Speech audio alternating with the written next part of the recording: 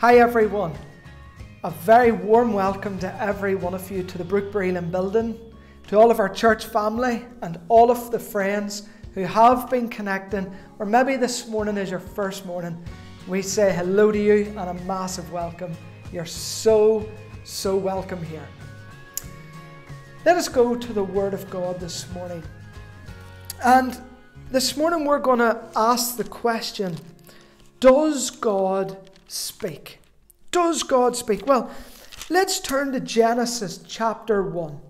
Now, you would think that first impressions to God are important. If first impressions to me and you are important, that God, when revealing Himself at the start of the Bible, would be massively important to Him. And He would try and portray some of the most important things about Him at the start of what He reveals to us. And one of the very first things that he reveals about himself to us as we begin to read the scriptures is it says in Genesis and in the first chapter, verse 3, it says, Then God said, He said, right from the start, we're starting to pick up. Here is a God who wants you and me to know I speak, I communicate. I verbalize, I engage. And whenever he speaks, things happen. Let us then see what the first man and woman has to say about this Adam and Eve in the Garden of Eden. The Bible tells us in verse 10 that, that Adam, that, well, in verse 9 it says that Jesus asks Adam, Where are you? And then it says that Adam replies, That I heard your voice in the garden and I was afraid because I was naked and I hid myself. I heard your voice. And I think this is important to note. God didn't just speak when things were perfect in the garden. God still spoke even when they had been disobedient. And I thank God for that. Because God often, John, I know something, folks, Sometimes I've heard God speaking most whenever I've actually been not in a great place. Praise God that He is gracious enough to continue to speak. But we have got to listen to what He says. So we see that He wants to reveal about Himself that He speaks. We see that the first man and woman uh, record that they heard Him speak. And so, what does this voice sound like? Well, there is a variety of records in the Bible and verses that tell us that God's voice can sound like many different things. He is not monotone. He's not like that Father Ted episode with the, the, the priest who had the very boring voice. That's not how God speaks. Sometimes in movies and that you hear, I am the Lord, and all of this here goes on. God's voice comes in a variety of different ways. In 1 Kings chapter 19, Elijah hears a still small voice. Some translations put it as a low whisper. In Mount Sinai, in Exodus 19, Moses heard God speak with a voice like thunder. What a contrast! The low whisper and the loud thunder.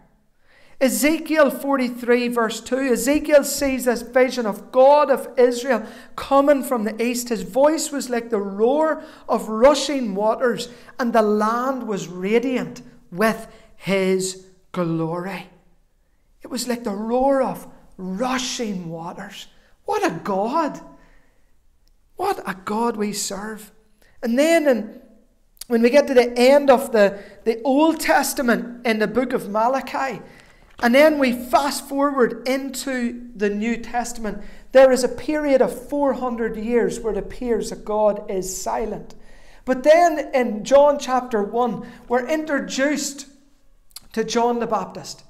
And John the Baptist comes in the scene, and he says in verse 21, I think it is, he says, um, Behold, I am, the, I am the voice of one crying, Prepare ye the way of the Lord.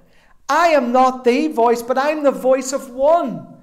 I want to communicate what God is wanting to communicate to you. So here's God's voice beginning to speak again. Prepare the way of the Lord, the way of the Messiah, the Son of God who would come to save the world. Maybe John chapter 1 and verse 1 is a great analogy that the Bible gives us when giving us a picture and an image of who Jesus was. It says in John chapter 1, verse 1 And in the beginning was the Word, and the Word was with God, and the Word was God. What a word to use when describing Jesus than to describe him as the Word. How much more explicit can you get than to say that I want to communicate because I am the Word? You can't make it any more plain and simple than that. I am a God who communicates, and I'm prepared to tell you that I am the Word just to let you know that I want to communicate. So we see that God wants to communicate. And lastly, in Revelation chapter 14, verse 2, we hear what John ha- sees in his vision. It tells us that, that he sees a verse or hears a verse from a voice from heaven, like the roar of many waters. There it is again. And like the sound of loud thunder. Listen to this. The voice I heard was like the sound of harpists playing their harps. Wow. This God, right at the start of Genesis, communicates to us I am a God who communicates. Then, as we read through the scriptures, we recognize that His voice can come in a variety of different ways. Next week, we're going to look at different ways God speaks practically to us. But I wonder have you ever been watching the television? And uh, maybe you're watching ITV, which is usually English speaking people, and uh, their accent sounds okay unless you're with them. I'm only joking. If you're English, please don't take any offence. But have you ever been listening and all of a sudden a Northern Irish accent comes on and it's like, oh, that sounds awful. I've been there. Or maybe you hear your own voice played back on something and you're like, oh, swallow me up now, ground. I want you to know the voice of God is wonderful. The sound of harps, the sound of water flowing, the sound of thunder, the sound of, of a rushing wind, the sound of a still small voice. He knows how to communicate to you, dear friend. He knows the way to get your attention.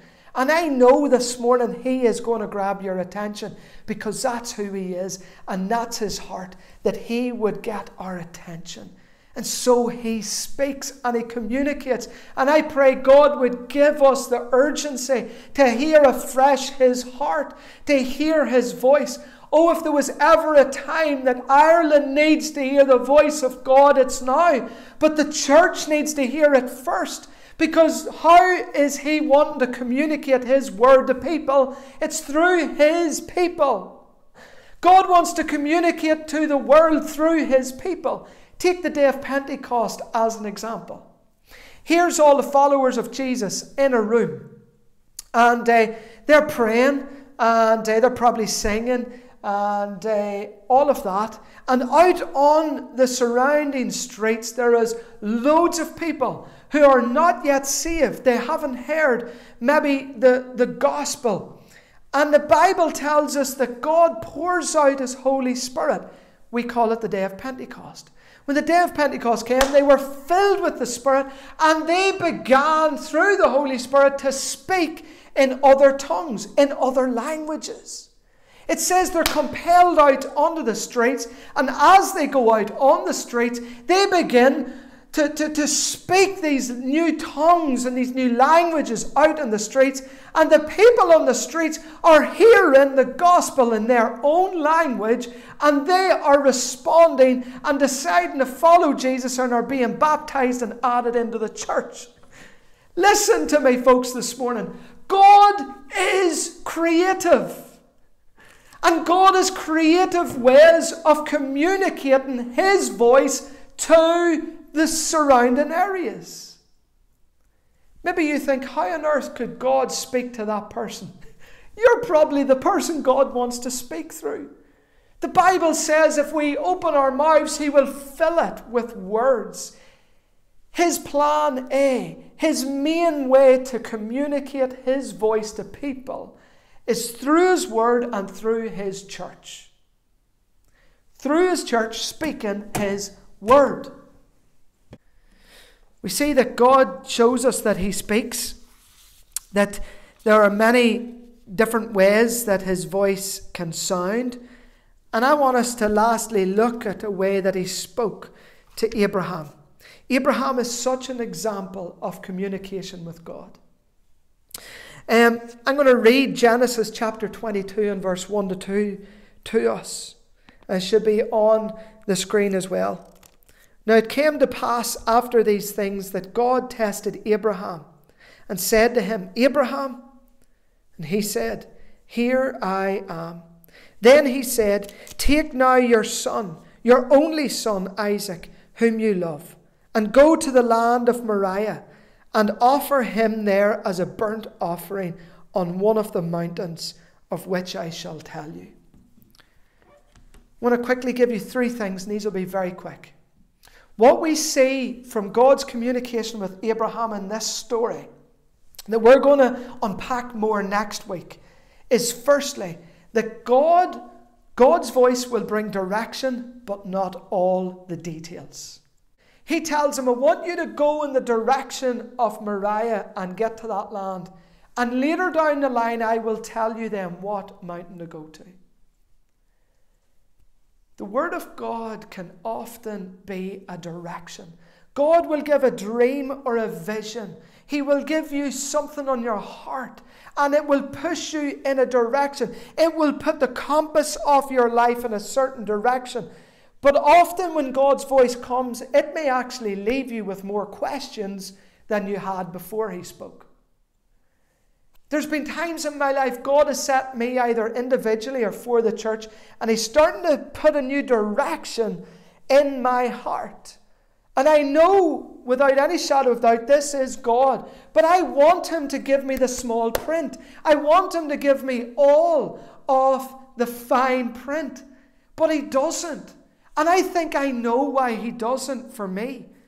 Because if He was to show me the end goal, of that vision, I think I would try to find a shortcut. If I could see the full picture, I believe I would try to find a shortcut. But you see, the goal for Jesus isn't the destination, it is the journey. Our goal is we want to get to the end.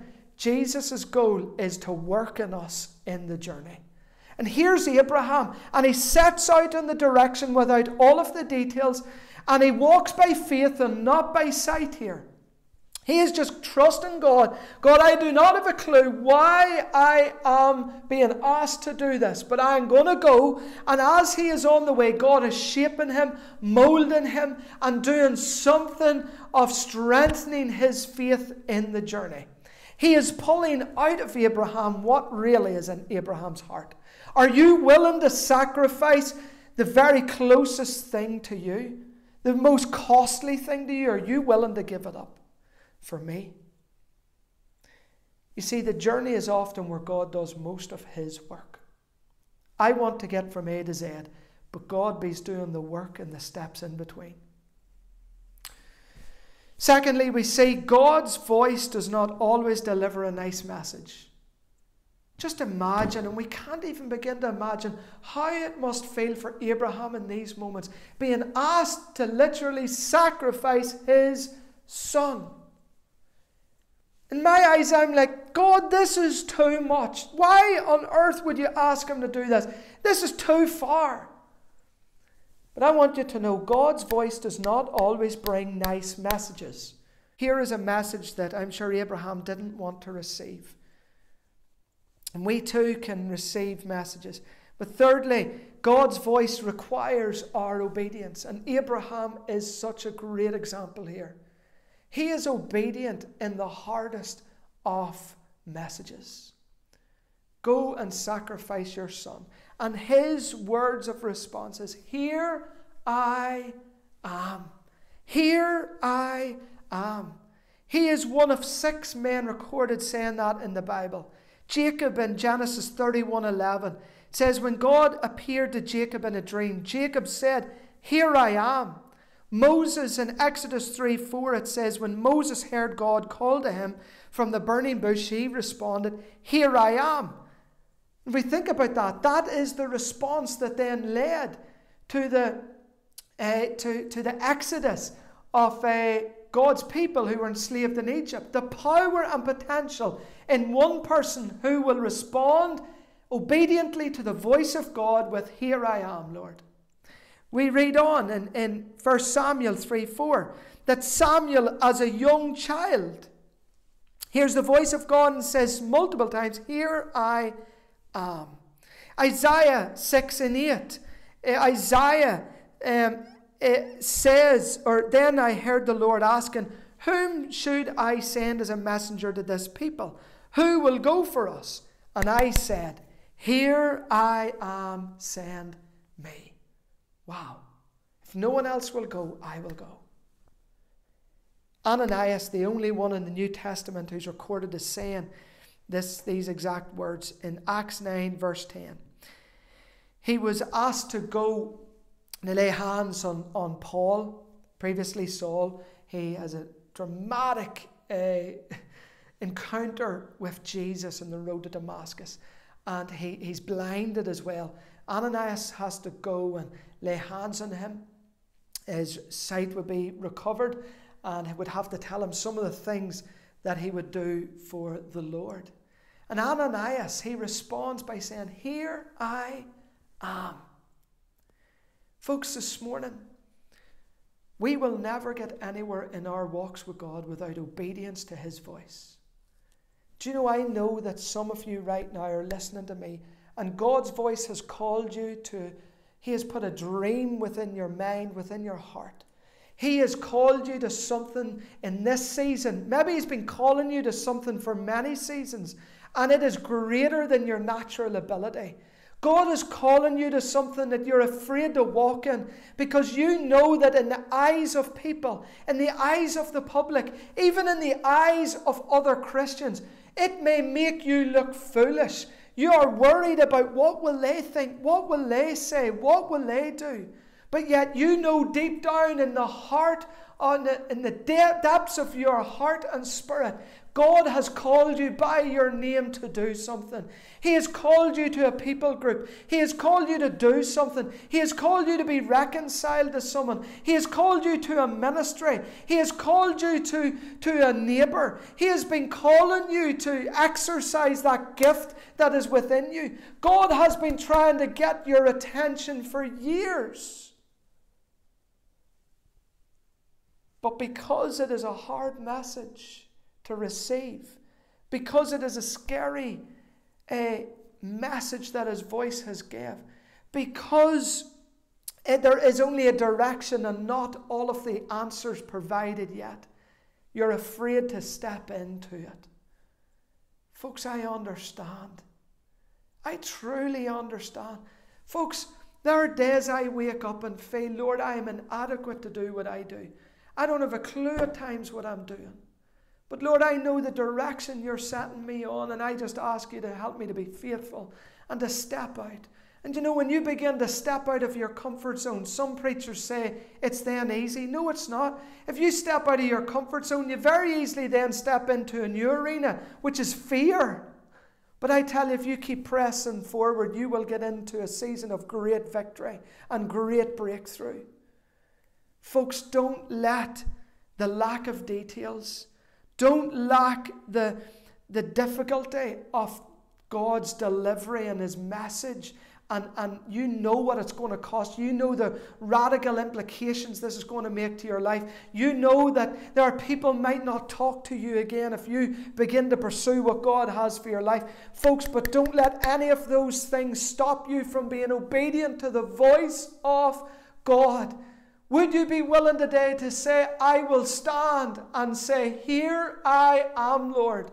Use me for your glory and your purposes. Use me to reach these people. Use me in whatever it is you're calling me to. I don't feel I have enough, but your grace will be sufficient for me. I know, Lord, that you're calling me to greater things than my natural ability. But when I am weak, you will make me strong. I know that this is not of me because I don't even terribly want it. But if this is what you have for me, then let it be, Lord, in my life. If you are not a Christian this morning, as I close right now, you need to give your life to Jesus. The Bible says, if you hear his voice, do not harden your heart, as in the days of rebellion. Do not harden your hearts. What does that mean? Don't reject what God is saying. Maybe you, God has been speaking to you for a long time, pulling at your heart. He's doing that because He wants you.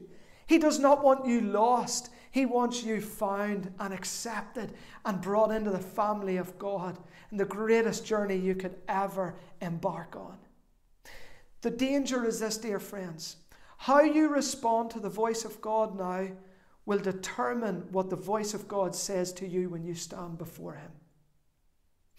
If you reject His voice now, He will one day be face to face before you and say to you, Depart from me, I never knew you. But if you accept his voice and accept his sacrifice on the cross and give your life to him and accept his forgiveness and his salvation, then he's going to turn round to you on that day that you stand before him, whether you die before he returns or when he returns, and he's going to say to you, Well done, good and faithful servant, enter in to the joy of your rest, of my rest. What do you want to hear? And, dear Christian, can I ask you, are you being obedient to God's voice? Is there something God has asked of you and you are still living in disobedience? God speaks. I know God is speaking right now. I pray He will give us obedient hearts, that His name would be glorified, that His kingdom would be extended, and that He would get free course in our lives, in mine and in yours, for His glory. Does God speak? Yes, He does. Are you being obedient to what He is saying? Amen.